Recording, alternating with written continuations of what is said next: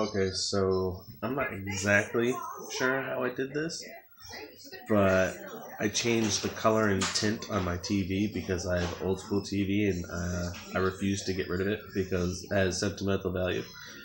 But nonetheless, um, yeah, the color was off, so I messed with the tint and everything. I thought it was fine, and uh, I turned Piccolo black. I don't know how I did it, but that's what's happening right now, and it's it's hilarious.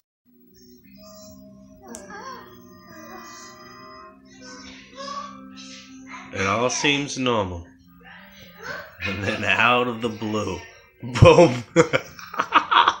He's black as shit. It's crazy. I don't understand it. The best part is little Dende too. It's so good. I love it. Hi. Hi, baby. What are you doing? Oh, I cut. Yeah, it's just. I don't know how it happened, but it happened. That's weird. Why doesn't Piccolo just bring out Goten and Trunks? Yeah, Piccolo needs that suntan lotion too. He must have got burned. Look at Dende. The entrance is destroyed, and that dimension would be closed off from this one.